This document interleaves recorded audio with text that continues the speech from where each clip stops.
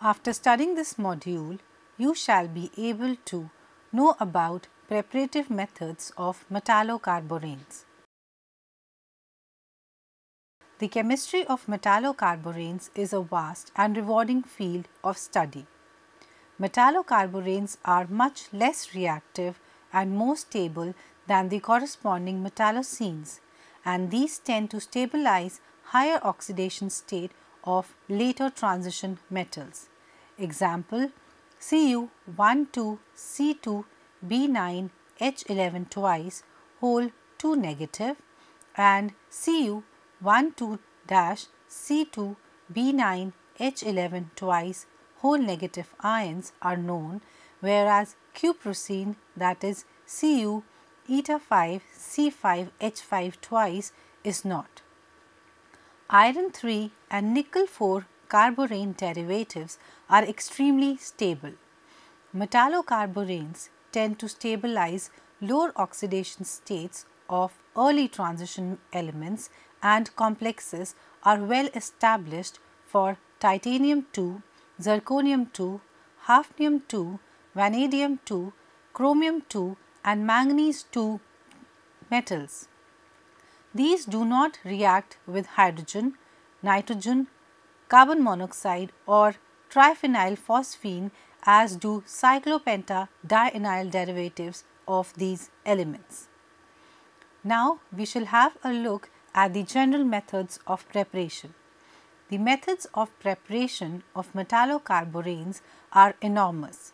The six major synthetic methods of metallocarboranes are number 1 coordination using nidocarborane anions as ligands, number 2 polyhedral expansion, number 3 polyhedral contraction, number 4 polyhedral subrogation, number 5 thermal metal transfer and number 6 direct oxidative insertion of the metal center.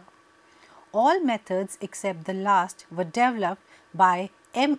Hawthorne and his group in the period 1965 to 1974 and have since been extensively exploited by several groups. Looking at the first method that is the coordination using nidocarborane anions as ligands developed in 1965, the reaction of dicarbolide anion C2B9H11 2- with FeCl2 in tetrahydrofuran that is THF with rigorous exclusion of moisture and air gives the pink diamagnetic bis sandwich type complex of Fe2 plus which can be reversibly oxidized to the corresponding red Fe3 plus complex. This has been shown in figure twice C2B9H11 2 plus Fe2 plus in the presence of tetrahydrofuran gives Fe eta 5 C2B9 H11 twice whole 2 negative in the presence of air gives Fe eta 5 C2 B9 H11 twice whole negative. Figure shows the pink sandwich type complex of Fe2 plus metal. If the reaction is carried out in the presence of NaC5H5, the purple mixed sandwich complex is obtained as shown in figure C2B9H11 2 minus plus C5H5 minus plus Fe2 plus in the presence of tetrahydrofuran gives Fe eta 5 C5H5 eta 5 C2B9 H11. Figure shows the purple mixed sandwich complex of Fe3. The reaction is general and has been applied to many transition metals like chromium, molybdenum, tungsten, manganese, rhenium, nickel, palladium, copper, silver, gold and beryllium. The use of metal carbonyls supplies the capping unit. For example, C2B9H11 2 plus MoCO6 in the presence of light gives MoCO3 eta 5 C2B9H11 whole 2 minus plus 3 carbon monoxide. Second method is the polyhedral expansion given in 1970. The two electron reduction of a closocarborane with a strong reducing agent such as sodium naphthalide in tetrahydrofuran followed by the reaction with a transition metal reagent is quite general for closocarboranes. It involves the 2 dash electron reductive opening of an n vertex closo cluster followed by metal insertion to give a n plus 1 vertex closo cluster.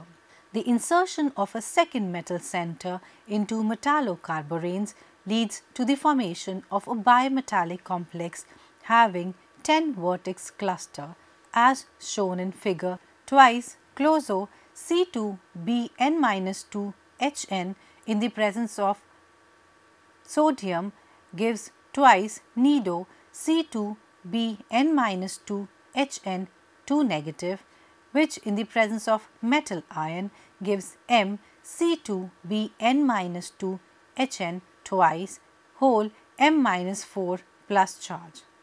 Another example is closo 17 C2 B6H8 in the presence of tetrahydrofuran gives CO C5H5 C2 B6H8 which again can be reduction to CO C5H5 twice C2 B6H8. Figure shows the bimetallic complex having 10 vertex cluster. The reaction of cobalt chloride with icosahedral 1,2-C2-B10H12 gives supra-icosahedral metallocarboranes with 13 and 14 vertex polyhedral structures. This is shown in scheme 1 from B to E. Scheme 1 shows A as icosahedral 1,2-C2-B10H12 and the figures from B to E shows facile isomerism of the 13 vertex mono metallo. The third method is the polyhedral contraction given in 1972. This involves the removal of one BH group from a closo metallocarborane by nucleophile base degradation followed by oxidative closure of the resulting nido metallocarborane complex to a closo species with one vertex less than the original. This is shown in figure. For example, 3 CO eta 5 C5H5, 1 2 C2 B9H11 in the presence of OET minus and peroxide gives 1 dash CO eta 5 C5H5, 2 4 C2 B8H10. Figure shows the formation of closo complex by base catalyzed reaction and H2O2. This method is less used for the preparation of metallocarboranes compared to polyhedral expansion since some metallocarboranes degrade completely under these conditions. Now, looking at the fourth method that is the polyhedral subrogation given in 1973, the replacement of a BH vertex by a metal vertex without changing the number of vertices in the cluster is termed polyhedral subrogation. The degradative removal of the BH unit is followed by reaction with a transition metal ion rather than with an oxidizing agent. For example, we have CO eta 5 C5 H5, C2 B10 H12 in the presence of hydroxide gives CO eta 5 C5H5 twice C2B9H11. The method is of potential use in preparing mixed metal clusters example cobalt plus nickel or cobalt plus iron and can be extended to prepare more complicated cluster arrays as shown in figure the subrogated B atom being indicated as a broken circle. Figure shows the formation of mixed metal clusters. Now looking at the fifth method that is the thermal metal transfer given in 1974. This method is less general and often less specific than the coordination of nidoanions of polyhedral expansion. It involves the pyrolysis of pre-existing metallocarboranes and consequent cluster expansion or disproportionation similar to that of the closocarboranes, yielding mixture of products. For example, we have C5H5 twice CO plus 23C2B8H10 twice cobalt anion in the presence of 525 degrees Celsius in a hot tube yields C5H5 twice CO2 C2B8H10. Alternatively, the direct metal insertion by gas phase reactions at elevated temperatures can be shown as shown in scheme 2. The reaction with CO eta 5 C5H5 CO twice also gives the 7 vertex closo bimetallocarborane which can be considered as a rare example of a triple decker sandwich compound.